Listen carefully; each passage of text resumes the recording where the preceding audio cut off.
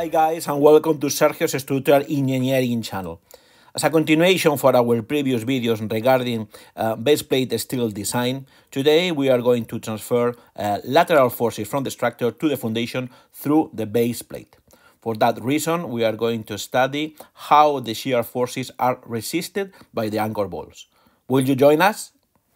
Based in the previous exercises, uh, for today's example, uh, we are going to use a, a shear design forces equal to 120 kilonewtons and uh, keep in mind that the base plate was solved using 6 uh, diameters 32 with an ultimate strength capacity equal to 400 megapascals.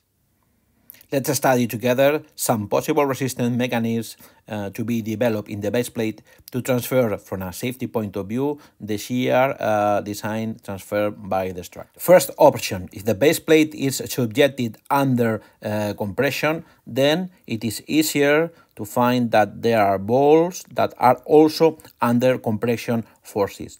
Then we also could accept or assume that all shear forces has to be resisted, resisted by those uh, three anchor bolts under compression.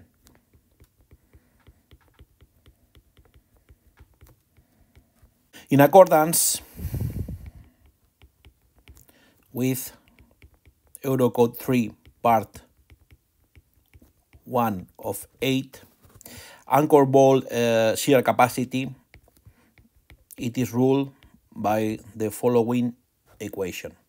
A factor equal to 0.6 for the grade of the actual, anchor bolts, ultimate strength uh, capacity for the anchor bolt, the area of the, the anchor bolt divided by a safety factor, usually defined as 1.25 for connection. Possible second resistance mechanisms is to assume that anchor bolts subjected to tension can also uh, uh, resist shear forces. For that reason, and in accordance with EC 3 part 1 of 8, we also have to follow this equation to deduct ultimate capacity for the anchor bolts subjected to tension forces. Once uh, anchor bolt uh, shear and tension strength capacity are uh, defined, Eurocode 3 establishes the following linear interaction equation if we would like to design uh, the anchor bolt simultaneously with tension and shear forces. Linear interaction equation uh, allow us to represent a safety area graphically. So uh, uh, all those points that are um, uh, a pair of points based on uh, tension forces and shear forces of all the combinations, all the combination for the anchor bolt, if they are want to comply with the requirements or Eurocode 3, has to be uh, inside this area. The pair of points that are outside this uh, area are not complying with the requirements of the uh, European Design Code for steel structure. Independently of the uh, possible resistance uh, mechanisms, uh, uh, cases A or B, if it is possible also to include in our calculation the favorable effect of friction forces. But it's important only if the base plate it is under compression uh, if this uh, tension or the contact is not guaranteed, we cannot take into account in our calculation the friction forces. Friction forces help us uh, to balance horizontally shear forces uh, acting uh, over the base plate. It is just a, a common column friction forces applied uh, over the surface of the base plate and the concrete or the grout. So friction forces can be defined with the following equation. It is uh, uh, no more than the friction coefficient uh, of, of friction, that is called nu, okay, multiplied by axial forces acting over the base plate. But without uh, without or taking into account that these axial forces it is uh, uh, it is a recommendation to use service, service uh, limit state. I mean without without uh, magnifying. Magnifying. Safety. Factor load. Okay. So we will take into account in our calculation the friction forces from a conservative point of view. Okay, so let's go to the practical example for today. The first uh, issue that we have to face is to uh, define which are the uh, shear capacity for the anchor bolt that remember is its diameter 32 in accordance with our previous videos, and what is also the, uh, the tension or the axial tension strength capacity uh, in accordance, both equations in accordance with the Eurocode 3.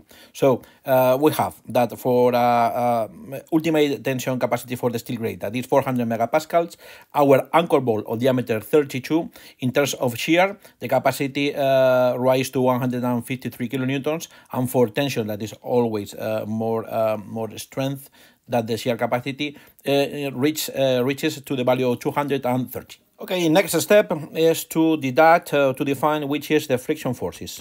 Okay, friction forces is equal to nu multiplied by the acting, uh, we say uh, axial forces compression, remember, divided from a safety point of view directly for uh, 1.5. So usually in European standards, friction forces between uh, concrete and steel, it is assumed to get the value of 0 0.25. Uh, uh, so um, if we make some operations, okay, service service axial compression forces get the value to 70 and then total uh, friction forces is uh, 17.5 kilonewton that is opposite uh, to the uh, uh, applied shear forces of 120 kilonewton. Okay, let's proceed and continue with the exercise. So we adopt to make it a little complicated, more little complicated, the resistance mechanism type B, okay? So we are going to think about it to an interaction between anchor bolts uh, working simultaneously in tension and, and shear, okay?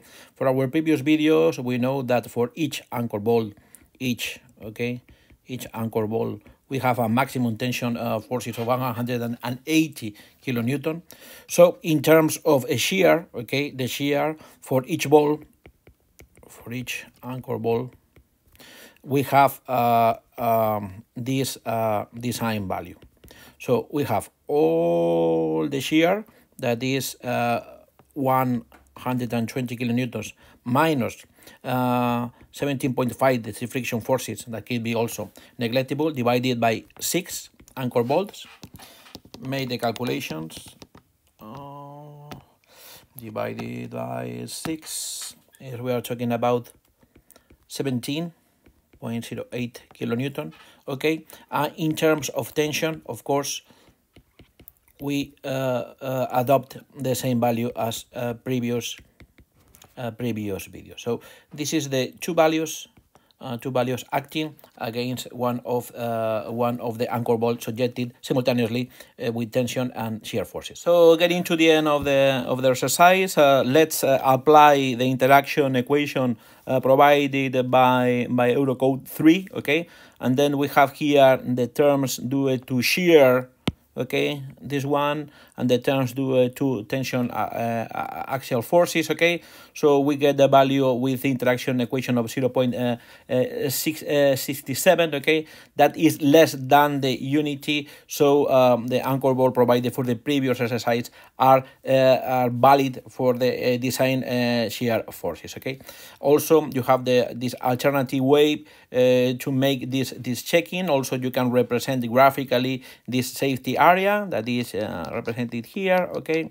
So we can introduce a, a, a pair uh, a point uh, uh, based on the uh, tension uh, value and the shear value. So if, if, uh, as long as the point is inside the pair is inside the, the safety area the results are um, saved from a point of view and following the recommendations of the requirements for the Eurocode 3 from the Steel Design European Code okay we are reaching to the end of the video for today. I hope you will enjoy it. Uh, remember that in LinkedIn profile, uh, my LinkedIn profile, you can get access to additional structural engineering and construction uh, uh, formation and contents okay? Uh, don't forget to subscribe to my youtube channel uh, to give a like or if you don't mind share with those who could be interested in this kind of content. That will give me a great support to this uh, activity okay? Nothing else to say. I hope to see you soon. Take care. Bye bye